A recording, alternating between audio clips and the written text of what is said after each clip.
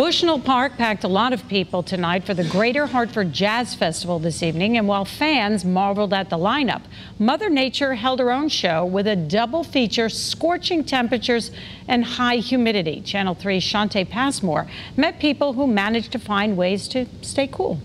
No brutally hot and humid weather could keep this crowd from listening to great jazz.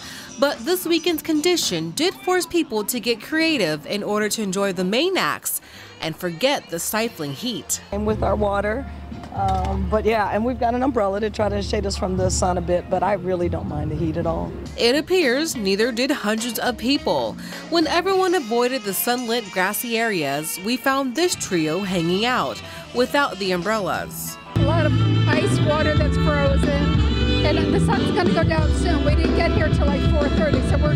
Yet perhaps today's unmerciful weather combo got the best of some music lovers, as many noticed the obvious. A lot more typically, uh, but certainly a larger crowd than expected. Everyone at this jazz festival knew this weekend would have hot boiling temperatures and high humidity. So to help keep people cool, sellers are going around selling bottled water so people don't have to search it out and stay hydrated.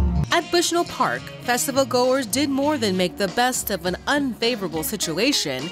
They remain determined to enjoy their Saturday with these jazz sounds. You don't want to miss it. It's not as bad as people are saying that it is. You know, you have the trees, you have the wind, you know, and everything, so it, it's nice out. In Hartford, Shantae Passmore, Channel 3, Eyewitness News.